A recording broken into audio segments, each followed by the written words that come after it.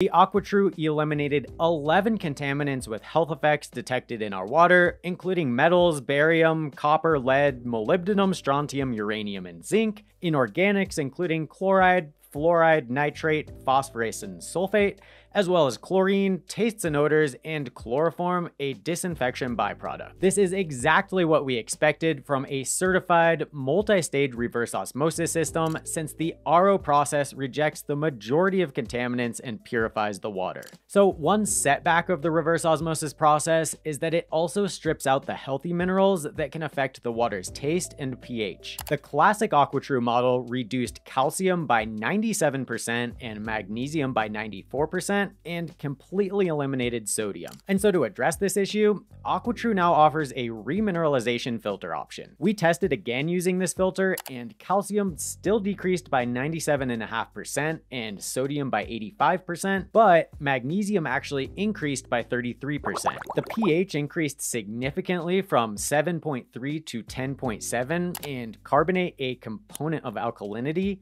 increased by 17,000% to 14.3 parts per million. Now let's see how the Big Berkey compares. In